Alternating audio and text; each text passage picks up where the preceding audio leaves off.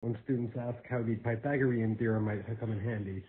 Uh, they might not use it on a daily basis, but if they want to do cool things like be a game developer, it could come in pretty handy. Because if we consider our joy x and y values before we added our multiply by 5, moving up or right individually moves us a distance of 1 pixel.